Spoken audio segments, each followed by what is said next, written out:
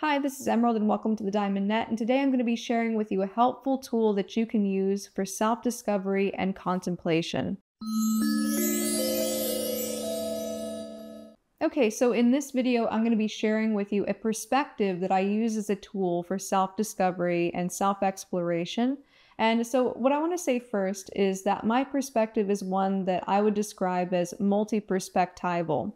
This means that I look from the vantage point of a lot of different paradigms, and so I might have a tendency to put on the scientific lens in certain instances, or put on a more spiritual lens in other instances, or look through the lens of certain schools of philosophy. And so basically, it's like switching lenses depending on what the situation is. And you know, oftentimes I'll get multiple lens viewpoints of looking at a particular um, a particular phenomenon, and this tends to, in my experience, produce a lot of interesting results in terms of insights that I get, and I share many of these insights here on this channel. And one of the things that's necessary when it comes to using multiple perspectives is to be able to remain a fence sitter in terms of really not knowing anything. You know, so it's not saying this is the right perspective or that's the right perspective or this is the absolute perspective or this is the absolute perspective. It's really staying in this space of neutrality and being able to try on all these different perspectives as lenses.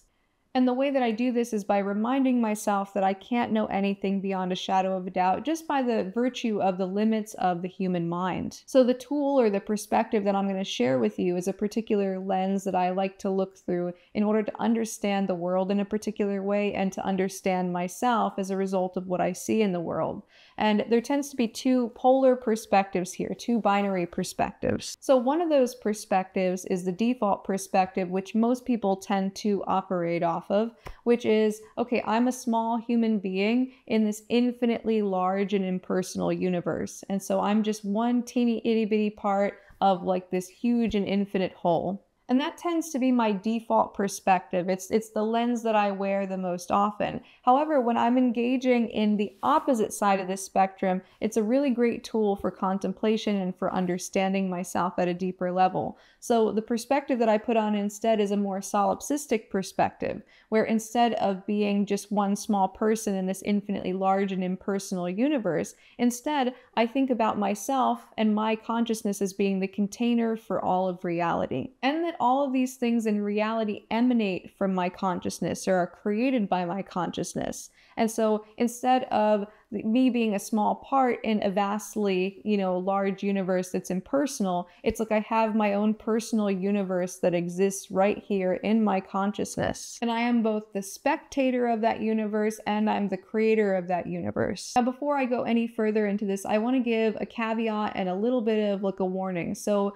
what I would say is that this practice is one that's probably best not to practice if you're a person who happens to have issues with psychosis or has some other condition that makes it difficult for you to stay grounded in the consensus perspective. So, there are certain psychiatric conditions where a person can make connections between things that, that aren't actually there and that it can create paranoia or it can create harm to themselves or, you know, different things like that. And so, with these types of practices, what I would recommend is that, you know, if you have a hard time staying rooted in the default consensus perspective where you understand yourself as a small person in an infinite impersonal universe, and if that's a difficult thing, I don't recommend going into this perspective. And generally speaking, for anybody, what I recommend is to do what I call like rooting and branching. So you want to keep yourself rooted in the default consensus perspective, you know, to recognize that you don't know anything for sure. And so you don't know which perspective is actually true or isn't true, because we can't know that beyond a shadow of a doubt just because of the limitations of our human perception. But we stay with the default perspective because that's the functional perspective. That's the one where we actually get to move about in this universe and actually make things happen. And so we want to keep our roots in the default consensus perspective, and we want to branch out and explore these other perspectives that deviate from that. And so that way we don't get ungrounded from, let's say, our role in day to day life and our experience as this person that has to go about, you know, this world and that has limitations and things like that. So we want to stay rooted there and branch our perspective into this other perspective. Another metaphor for this would be understanding this more solipsistic, we are the container of the universe kind of perspective is like going into a cave, but we keep like a tether tied around us, you know, that links us to the area outside of the cave so that we can find our way back to it. And like I said, if you tend to have a tether that breaks easily or a weak tether, I don't recommend going into this cave. And my channel name is actually named for these two perspectives. So there's a story called The Diamond Net of Indra. And Indra is a Hindu god, but uh, the diamond net of Indra was actually created by Buddhists. Um, and so basically, in the story, um, the god Indra hangs this infinite diamond net up in the sky. And basically, this this net stretches on forever and ever in every direction. And so it's an infinite net. And at each of the vortices of the net, there's a jewel. And each one of those jewels reflects all of the other jewels in the net. And so if you look into one of the jewels, you will see the reflection of infinite amounts of jewels. You know, so, and you can look from two perspectives. So you can look at yourself as one single jewel within the entirety of this infinite net, you know, so it's just one small part of this infinite net. Or you can look at the fact that within your one jewel is the reflection of all of the other jewels. And so we could say that there's only one jewel, but then there's also you know, one jewel among many, many infinite amounts of jewels. And so to name off these perspectives in shorthand, we can call, let's say, the many jewels perspective the consensus perspective, and the one jewel perspective as being more of like the solipsistic, um, like sort of one perspective, where we're the container of all of reality. And so from here on out, I'll just refer to it as the consensus perspective and the one jewel perspective. Now, as I'd mentioned before, in order to skillfully flip between these two perspectives of the many jewels versus the one jewel, um, what we have to do is we have to understand that we can't know anything beyond a shadow of a doubt. And this not knowing that we have is far more profound than people often realize because it's very, very little that we can know. There's actually a great book, if you want to check it out. It's called The Book of Not Knowing and it's by Peter Ralston. And he basically goes into lots of different like inquiries and questions that you can ask yourself about, you know, it's about getting you to understand what is it that you assume to be true? What is it that you believe to be true versus what is it that you know to be true? And really nothing is in that bucket of I know this to be true. No matter how empirical your observations are, it's one of those things where you have the limits of your own subjective experience. Everything that you've ever experienced comes through the bubble of your subjective experience. So, for example, if I point to my shirt here and I say this is gray, and you agree that it's gray, we can't even guarantee that there's anything actually beyond our own subjective experiences. That like maybe this could be a totally different color, or maybe from your perspective, I'm not even here and it's just, you know, it's one big solipsistic thing and there's nothing outside of your perspective. You know, there's so much that we cannot know. And there's a phrase that refers to the way that an animal experiences their subjective experience, and it's called an umwelt. And so this means that, let's say, we might look at a situation and we see like a certain range of colors and we, we see it a particular way. But if we had the umwelt of a fly, reality would look totally different. And it's not as to say that our interpretation of reality or our lens is like accurate. You know, we couldn't even necessarily say that our lens is more accurate than the fly's lens is because we cannot know that. So our umwelt, you know, is our only anchor point that we have to experience things and it's limited you know so given that we have these limited faculties we cannot know really anything about the way that reality functions beyond a shadow of a doubt and oftentimes philosophers would come to a variety of different conclusions about if there's a thing in itself, or if we can experience the thing in itself, and if so, how we can experience the thing in itself. But ultimately, the reality is, and you can notice this directly, is that you can never know the thing in itself because you're only ever perceiving through, you know, through the lens of your five senses and whatever sense that your thoughts can make from what's taken in by your five senses. And anything that's happened in the past doesn't exist anymore, and anything that happens in the future that doesn't exist yet. We only have just this one single hair of a moment. And because of this fundamental limitation, it's important to consider that every single assumption that you have about reality might be false and very likely is false. And this leaves the door to be open to either one of these perspectives on the diamond net to be true. You know, so it could be that the consensus perspective is true, where there's many jewels, or that the one jewel perspective is true and that you're the container for all other jewels in the net. And you can try to figure this out and you can try to deduce, you know, which one's the right perspective, but that's really not the point because, you know, fundamentally the eh, the experience of being a human being is to be dancing with the mystery all the time. Who knows, perhaps the universe began 2 seconds ago and all of your re- all of your memories are just an illusion to create a sense of continuity. For all you know about the way that things work, that could be true. But don't believe that to be true because then that's falling over on the other side of the horse because we can't know that to be true either. So, when it comes to the idea of knowing something, we want to always remain a fence sitter and we don't want to fall over on the other side, you know, either side of that fence. We want to maintain this sense of curiosity and openness. It's the idea of keeping our cup open so that we can receive new insights. And so, whenever we can keep our cup empty, we can start to look from these different perspectives and switch between them with ease. Now, to get into the nuts and bolts of how to use the one jewel perspective for your own contemplation and self discovery purposes. So, as a reminder, the one jewel perspective is where your consciousness is the container for everything in existence. And everything in existence is an emanation of yourself, is a creation of yourself and that you're the container and creator for all things within the scope of your awareness. Now, one of the things that you want to become conscious of with this is that you possess a fundamental self interest.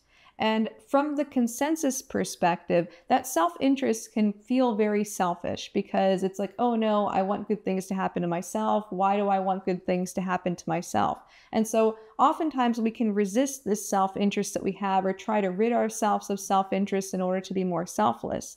But from the one jewel perspective, actually self interest is one of the most loving and, and best things that we can have because once we realize that everything is an emanation of ourself and everything that's going on in our reality is self, we can start to have this sense of unconditional love toward all things in reality. And in the same way that if we feel at one within ourself, the small self, we aren't going to want to cause harm to ourselves and we aren't going to want to experience negative things. In that same way, when we look out at reality, we aren't going to want to cause problems for another person because we recognize it as, you know, cutting off the no- nose despite the face. You know, so if we see somebody else in the scope of our awareness that you know, we don't like, or let's say if we wish ill on that person, well, ultimately, if we recognize that that person is an emanation of ourself, then we're wishing ill on a part of ourself. So if in the one jewel perspective, you recognize that everything in reality is a part of you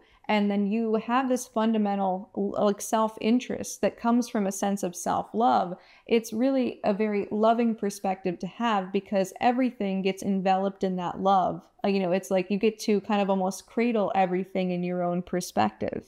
And you can look to people and places and things and events that are happening in your individual life or on the geopolitical stage, and you can recognize them as an expression of yourself you know so if you have certain elements of yourself in the shadow and that's part of this whole umwelt then it's like they might show up in the externals and so we can actually look to external events happening in our day-to-day life or on the the global stage and we can say okay if I am the container for all things that happen, and this is happening. This must be a part of me. And so we can use that as a mirror reflection to start exploring ourselves more deeply. And this can be something that's very difficult to stomach, you know, especially if there are things that are going on out there in the world that we really, really dislike. Like if there's a person who's causing all sorts of problems for us, or let's say there's a certain, you know, political thing happening or a war or something happening, it can be kind of difficult to stomach the idea that they would come as an emanation of ourself. Now, a caveat that I would give here, and a little bit of a warning, especially for people who have a tendency to take a lot of responsibility for things going on anyway, you know, is to insulate yourself from the idea that you're responsible for any of the things going on externally or that you're to blame for any of the things going on externally. So leave those sense of that sense of responsibility or you know blame only for the consensus perspective you know when it comes to taking control over what you actually as a small self have control over you know so do things in your power to help but don't feel like you have to save the world.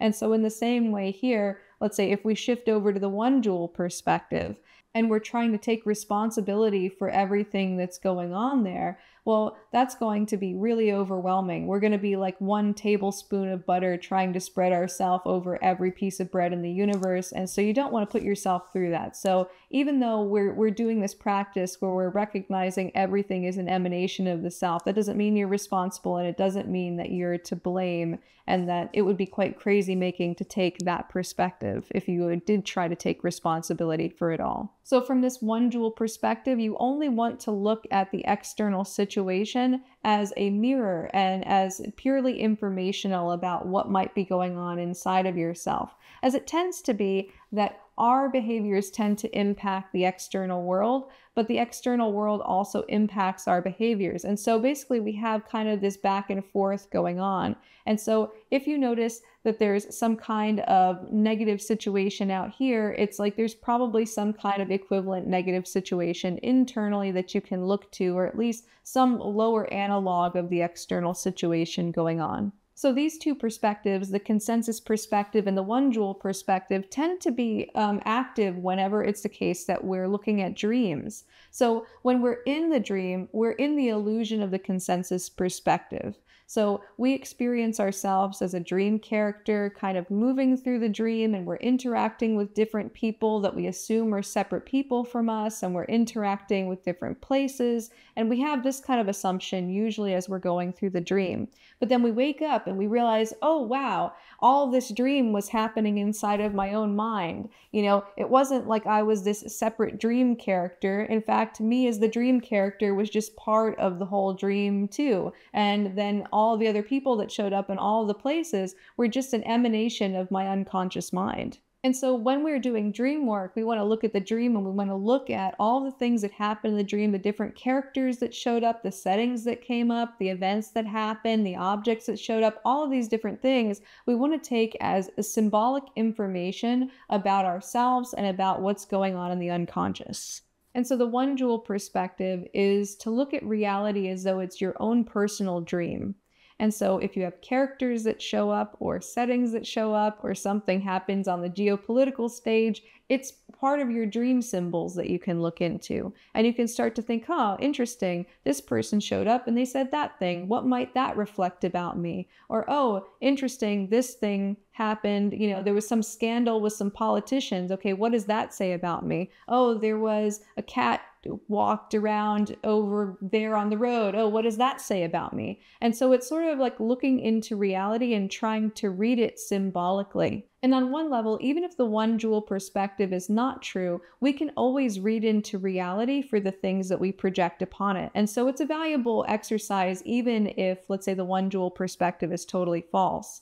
But this is something that helps us kind of get more in touch with mythos and more in touch with our intuition because we start to look at reality in this very interconnected way where we don't feel so separate from everything happening and, and nothing feels so impersonal. And so everything's very personal to us when we look from this perspective. And one of the most valuable things you can do is to look at the parts of reality that you can accept the very least you know so whether it's maybe particular political stances being widespread or it's let's say you know wars and genocides or you know a variety of different things that are unpleasant like the, the existence of serial killers or maybe there's a particularly tyrannical person in your life or you know like a lot of unfairness going on. So if you see that manifesting in your reality outside of yourself you want to look and, and you want to pay attention to that because it's an indicator of how you can grow internally you know so the more that you can start to recognize your shadow you know in the external situation